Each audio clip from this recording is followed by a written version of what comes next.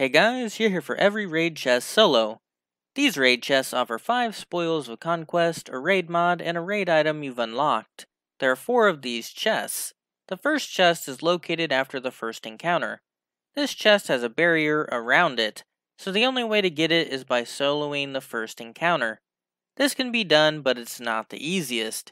You'll need to kill the first Minotaur on each side, capture the plate, then break the heads off the new Minotaur and let it chase you away from the plate. Since only the Minotaur can capture the plate, if you lure it away, you have soloed that side. That Minotaur can only capture the plate from their original side, not the others. So as long as you are close enough to the Minotaurs, just have them chase you around the map. After you captured all three plates for a while, you will be done.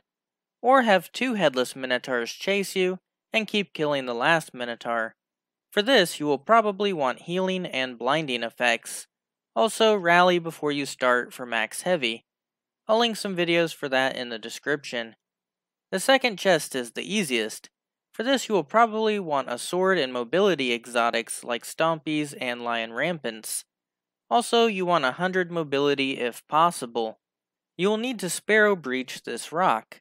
Back your Sparrow against this wall, hold left, jump off your Sparrow, then, as you are jumping off, side boost left.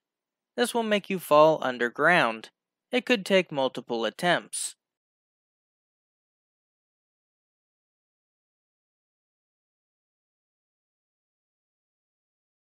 Now you will quickly jump and sword swing to the ledge. If you don't have a sword, you will want Icarus Dash or use a super for extra distance. Jump to the wall and to the pillar. You probably want balanced glide, triple jump, or high lift. I find it easiest to jump into this corner, then jump up top. Go around the right,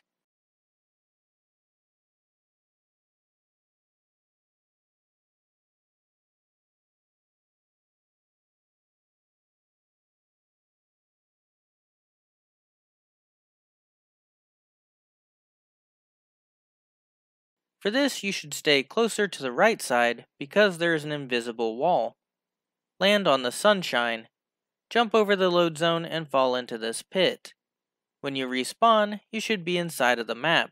If you don't immediately fall down into the pit, you might not respawn inside, meaning you have to redo this. At this point, go forward into the second chest.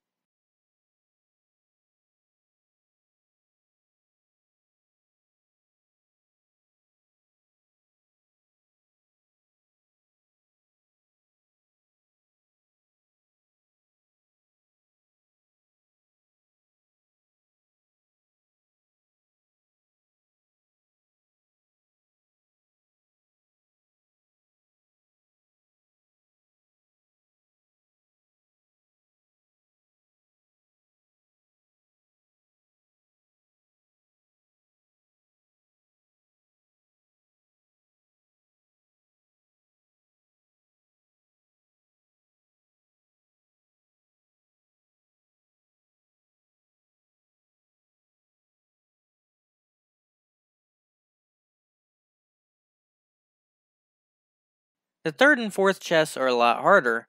This requires you to do the second chest skip you just did, and after, you need a sparrow fly through the next area.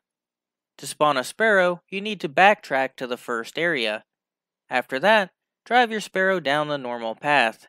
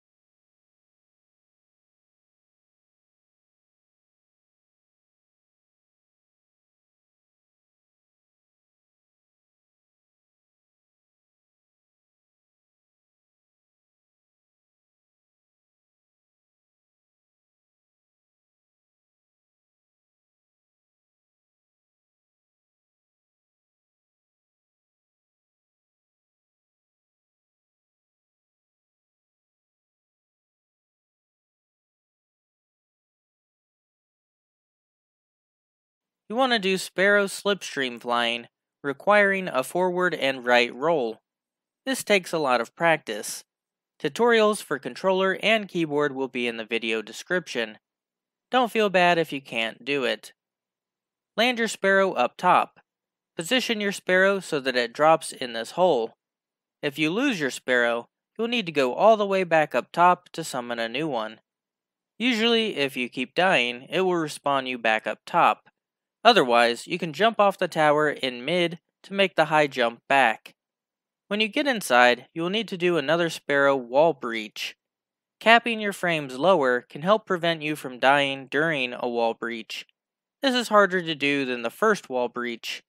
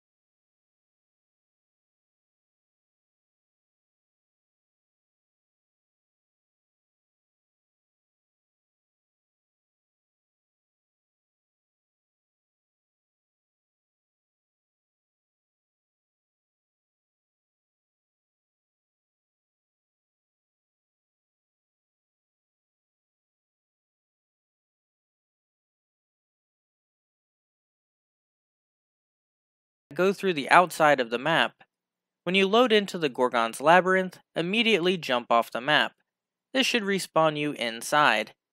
After that, shoot the three boxes in the maze to open the door to the bonus chest. Grab the bonus chest and you are done with this run. The door to the gatekeepers is locked. If a Gorgon sees you, it'll wipe the area. After that, you will be sent to the beginning of the raid. So get the chest before you are caught. If you have a couple Wardcliff shots, you can solo kill a Gorgon instead of being wiped by it.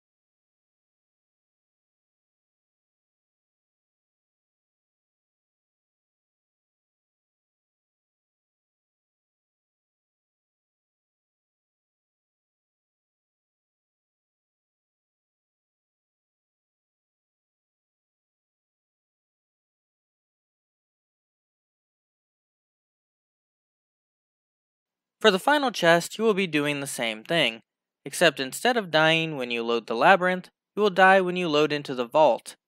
This will put you at the jump puzzle and allow you to get the final chest. In theory, this should also allow you to get the fragments for the shader, or with multiple people, you could do the Mythoclast Catalyst. For that, you may need to have some people leave and join the fire team to move them through the areas. Specifically to move from Gorgons to Gatekeeper, but you could also wipe at Gorgons to get sent to the beginning, and then do the glitch to get to the Gatekeeper in the same run and finish the plates.